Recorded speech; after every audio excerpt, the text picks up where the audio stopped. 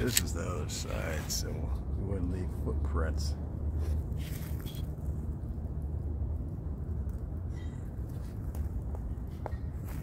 They won't leave footprints here. Concrete.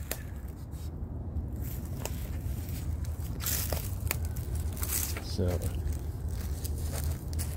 and uh, I don't see footprints here, but wouldn't necessarily leave any footprints. Watch this.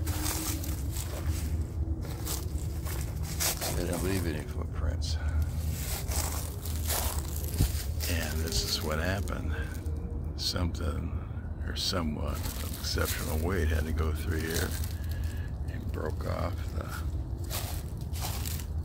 the topping and uh, had to be pretty heavy because it twisted the